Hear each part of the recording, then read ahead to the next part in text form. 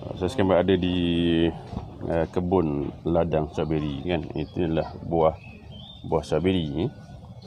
Nah ini orang bercakap uh, bab generasi kita sekarang ni disebut sebagai generasi strawberry.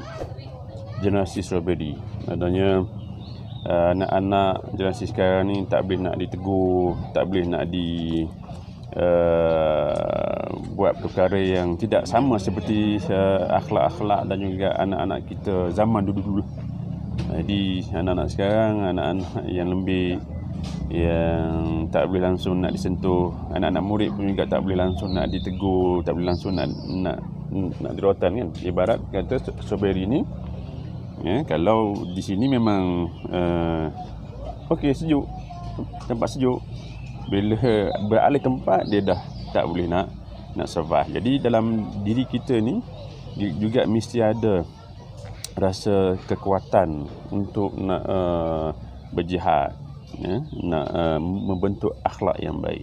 Jangan jadi seperti akhlak akhlak uh, disebut sebagai generasi strawberry ini yang bila uh, lambat sikit cair lembik dan juga masam sebagainya. So kita naklah uh, berasaskan kepada uh, fiqh waqi' di mana juga pun kita berada maka yang perlu kita junjung adalah al-Quran dan juga hadis itu.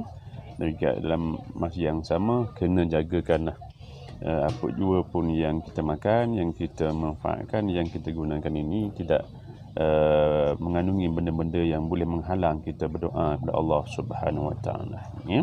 Kita tak nak uh, yang Nabi pesankan ilahmin nabata minal haram fannaru aula bi setiap daging yang tumbuh yang besar dengan sumber yang haram maka neraka lah yang paling layak bagi kita. Yang tu kita tak mau ya, jadi uh, pastikan kita uh, orang yang yang yang sentiasa uh, istiqamah dalam perjuangan uh, untuk Islam ini juga istiqamah juga kita beramal ibadat kita kepada Allah Subhanahu wa taala ya.